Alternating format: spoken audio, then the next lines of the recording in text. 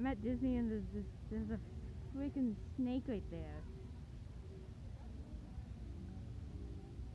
Where it goes off to the bushes.